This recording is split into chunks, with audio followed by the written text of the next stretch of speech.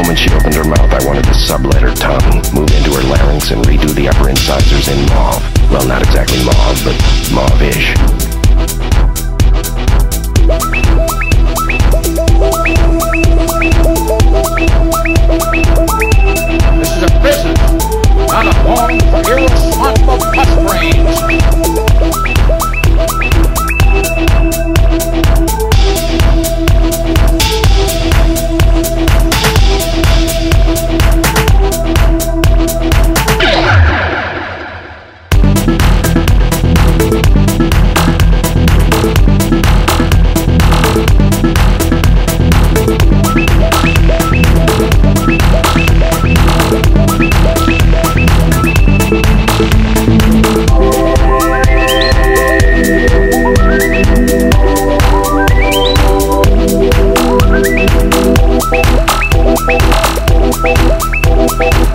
Thank